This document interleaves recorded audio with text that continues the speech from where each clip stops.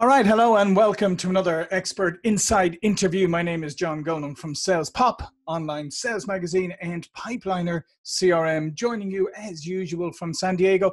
And today I'm joined by Tony Martignetti, who is in Boston, Massachusetts. How are you doing, Tony? Very good, thank you. And Tony is a leadership coach, entrepreneur, idea generator, people connector, and curious adventurer.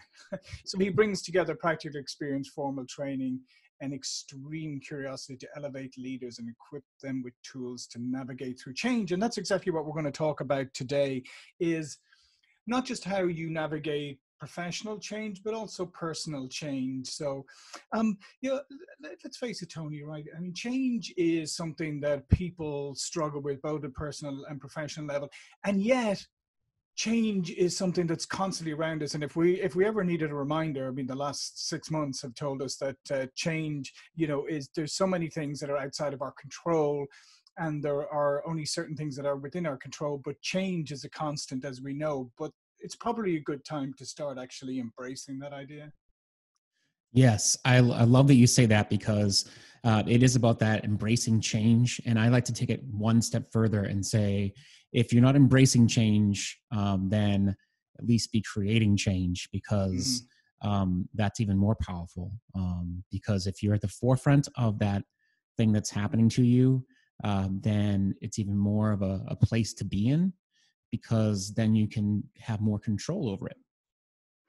And it seems funny, right? Uh, and often when people come into work or a professional um, circumstance, it seems like one of the first things they do is to try and get everything set up so it, it just runs and, and there's no change, right? They hate change and they try to get everything very neatly demarked and, and processes. And yet in in life outside, it's never like that. You can have the best laid plans, and they're going to go uh, astray. So how do you how do you manage to start to understand that both parts of your life you need to be constantly figuring out how to navigate the change, and as you say, how how to anticipate change and even precipitate it. Yeah, uh, I mean, the first thing is to is to see where you're being challenged you know in your life and in person mm-hmm. in your career. Uh, where are those challenges showing up? Where are things not feeling like they did before? And uh, when they they start showing up in your world um, leaning into that with some curiosity um, asking yourself why am i feeling this way? Why are there things that are not the way they were? And what can i um, lean into? You know so there's uh, leaning into but also stepping back um, right. before you um, really um, start making a change in yourself, um, you step back and you say, okay, something's not the way it used to be. Um, and how can I do something that will um, put me in a position to to be in more control or affect things I do have control of? So, what it? Do you have some examples, maybe, of, of, people you've worked with? Obviously, not naming them, but just the situations and the the changes that they discovered, and when they were, le- and then how they lent into it, and maybe, um, you know, uh, embraced it and, and grew stronger as a consequence. Yeah, it's a it's a definitely I'd love to share some uh, examples. So here's an example of of a person who I worked with who was leading a, a team of sales executives risk mm-hmm. um, in the risk field, and um, the key thing was you know feeling into this element of a lot of change in the organization and not sure where they're headed. Um, and his concern was I wanted to ensure that I was leading the team in the right direction and ensuring everyone had chances to feel as though they knew what was going on. So um, there's this. I love this this uh, aspect of it is, is big arrow and then small arrows, and making sure everyone's going in the same direction, but also has contr- have control over their particular aspect of what they're doing.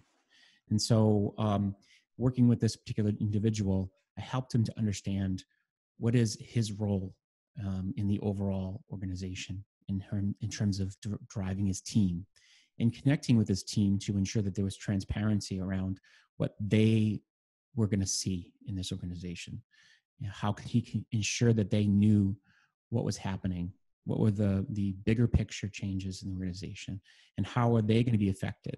And so it started with communication and, and seeing that communication um, from a very transparent and vulnerable place. And that's what he was able to do. Yeah, and there's, there's a couple of interesting concepts to unpack. Um, actually, I was laughing at the beginning when you said leading a sales team in, in the risk uh, in the risk area. I think leading a sales team is always it was always yes. is always in the risk area. Um, yeah. Um, but uh, yeah, there's a couple of things. The first thing is uh, is the is the understanding, as you said, understanding your role, but also I think unpacking and understanding, you know, what are the changes that are coming or what are the changes that need to happen and what needs to be embraced. Because I think sometimes you get into a panic when when confronted with change or the need to change and then we lose sight of what it is what the change is or what the change needs to be exactly um, you know the, the key word here is that control and then unpacking it and, and really understanding what is the thing that's in front of me that I can uh, take one step mm-hmm. towards? And then once that's done, what's the next thing after that? Because if you try to be um, looking at it from too big of a picture and saying, whoa, this is a lot to handle right now, there's a lot of mm-hmm. uncertainty, then you, you start to panic. And I will yeah. point out one thing about uncertainty uncertainty is good in quantities, small quantities. Mm-hmm. Um, this you know this is why we have visions and goals that we set if you knew it was going to happen around the corner why would you try hard to to achieve it you need to yeah. have some some sense that the outcome is uncertain so that you can strive for it um, when you have that uncertainty and it's something that's achievable then that's really powerful if it's something that is so um, so uncertain that it's overwhelming mm-hmm. then it becomes um, really hard to handle. So you, if you can take it into bite-sized pieces, um, then you can start to to make things happen, and that's where yeah. that comes from. Yeah, no, I, I, love that. But it's also, and the also the other part you mentioned there was the transparency piece, and I think this is where, mm. if you take, um, you know, what's happened recently with the pandemic and all the economic impact and and, and businesses, different businesses being impacted in different ways. I think what people crave is some level of transparency. Even if they even if the news isn't that great they just want to as you say they want to be communicated with they want some transparency they want to at least know the lay of the land and sort of get an idea of how the organization is going to going to react to it. So as you said i mean as a as a leader there embrace you, people aren't going to come and embrace the change even if the change isn't that great unless they really understand the reasons for it and what the real situation is. Yeah yeah. I mean that's that's how um, inspiration which is something that i'm always talking about it's really important. You want to make sure you inspire people into um, into why they this change is good or why there's an mm-hmm. element for opportunity in what's happening right now. And that's where a leader can really become a, a key part of driving things forward. Um, it's not for having people following you just because of a title. It's because you're able to rally them around a cause that is more powerful than you alone. It's about more than one person.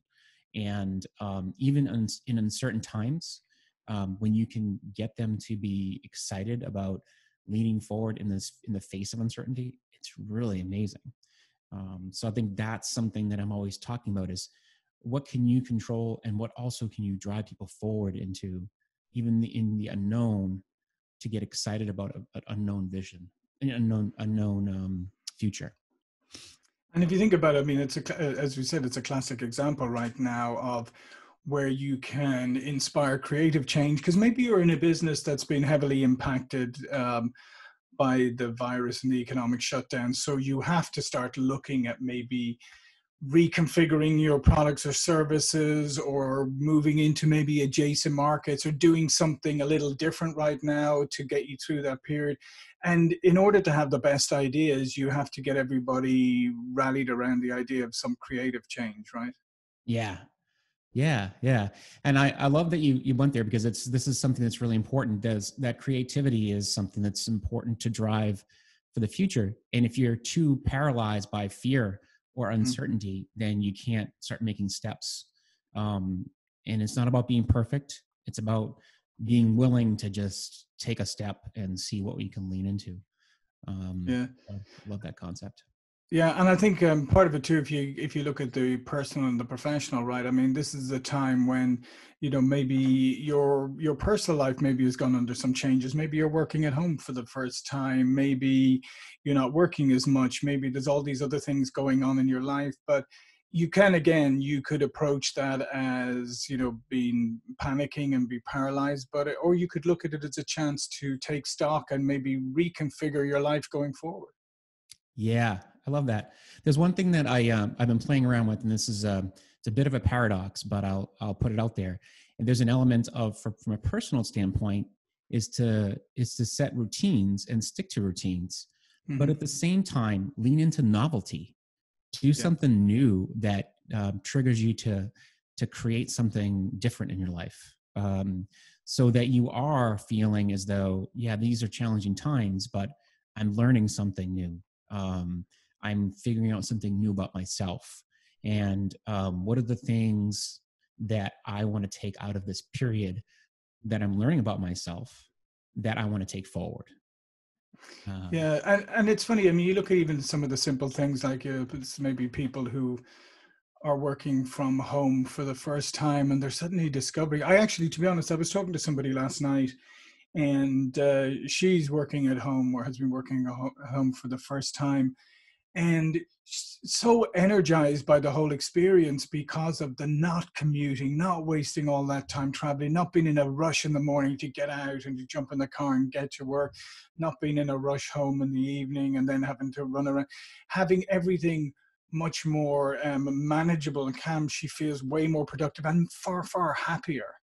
Yeah. Yeah. I mean, and that's something that's really amazing to hear from people.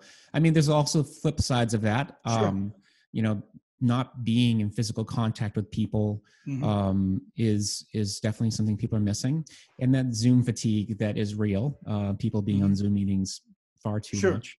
Um, but that's where but but they're probably the same people who are um, who are complaining about being in too many meetings, you know, physical meetings, like a, you know six months ago. Yeah, you can't satisfy everybody, right? You're absolutely right. But I think there's um that's the element of like you know, really kind of seeing okay, well, you know, how can I um, change that so that it it, mm-hmm. it works to my advantage and you know, okay, well, you don't need to be on a Zoom call every five minutes. You can sure. think about ways to change it to a phone call and maybe even get out in nature and have a phone yeah. call. Exactly. Exactly. I mean, there's so many ways, and maybe, and the other thing is maybe, and I think this is a, this is such a, because you talk, obviously talk um, and coach about change, but I think this is such a great opportunity. It's uh, for people to really look for organizations and individuals, like from an individual individual point of view, really ask yourself, what quality of life do I want? What kind of working environment do I want? How do I actually mm-hmm. want to configure my life as opposed to being, well, this is the way it has to be? I mean, now we've seen that it doesn't have to be in a particular way for a lot of, not for everyone, for a lot of, um, for a lot of jobs. And from an organization point of view, it's a great opportunity to go, well, maybe maybe dragging everybody into the into an office every day isn't the smartest way to operate. Maybe having uh, your pool of talent only within a certain radius of your isn't the smartest way to go. So i think there's so many great opportunities for people to to brainstorm and learn lessons and see whether there are there are things that you want to go back to doing but there are other things that you want to change going forward.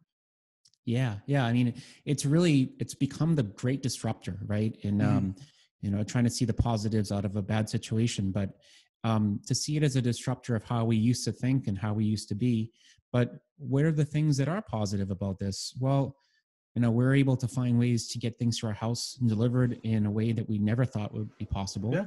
um, we're you know creating solutions that um, are truly amazing um, that i hope we do keep um, long mm-hmm. past uh, this this um, epidemic so what is um? So how do you when you talk to people? How do you help people not just like, uh, especially in a situation like that, not just like say, oh, this is great, but can we just want to get back to the way things were and just want to get back to everything just being the way things were? And the reality is that's not going to happen. I mean, it may happen in some businesses. Maybe it'll happen eighty percent. In other businesses, maybe it'll be fifteen percent. But there's there's definitely going to be a percentage that isn't going to go back to the way it was. So how do you help people? Um, embrace this as a, as regard um, um, as opposed to feeling that it's some kind of loss Yeah. Um, well, that's a good question. And the, and the thing is, from a business perspective, from a leader perspective, you know, it's really re, reshifting, well, shifting how they think about their next steps mm-hmm. and having, um, holding that vision with a, um, holding the vision tightly, but um, not necessarily having um, a firm grasp on the outcome. And what I mean by that is that there's a, a different way of getting there and there's going to be some risk adjustments to how that happens but having a vision of what you still want to create so you have a north star um, mm-hmm. so there's an element of um, we're still the kind of company that's going to do x y and z and this is what we hope for but the way we're going to get there is different we're taking a different route yeah. um, and there's certain risks that we have to, to now plan for that it may not be um, the way we originally planned yeah, and I like that idea. Is um, the idea of um, if you focus on the outcome, uh, then you, as I said, I mean, then you have the option to plot different routes to getting there, as opposed to say, as opposed to rather looking at the route you're on and saying, you know, well, we've got to figure out how we can stay on this road despite everything. It's better mm-hmm. to look at, okay, there's the destination, and maybe, as I said, maybe you have to detour just a couple of miles. Maybe you have to blast a tunnel through a mountain. Mm. Yeah, I mean, if that if that's if that ends up being the best course of action mm-hmm. based on um, on what you know people are seeing, then that might be just it, right? As crazy yeah, as absolutely. Well, listen, this is great, uh, Tony. Um, before we finish, do you have any other last bits of uh, advice for people and how to how to embrace and navigate change? Yeah, I mean the the one that I always come back to is um, it's that getting uncomfortable. If it feels uncomfortable, then it, there's a sign that that's telling you um, right. that's growth. Um, when you're out doing things that are feeling unnatural or feeling a little bit out your of your zone then lean into that and get curious because mm-hmm. that might be something that you need to do more of. Um, so yeah. Okay that's fantastic it's for companies. Well, yeah. So this is uh, that's fantastic. So listen, Tony, this has been great, great advice. All of Tony's information is going to be in his contributor bio below this. But before we go, Tony, please do tell people a little bit more about yourself and what you do. Absolutely. Yeah, I mean, I, I love working with um, with people who are really doing amazing things in the world and helping them to see through um, their challenges. And I'm looking forward to um, really connecting with folks um, if they feel they want to reach out. I'm happy to uh, have a conversation. So um, thank you so much for having me on the show. Yeah, this is great. Listen, thanks very much, Tony Martignetti. My name is John Golden, Sales Pop Online Sales Magazine and Pipeliner CRM. See you all for another expert interview really soon. Thank you.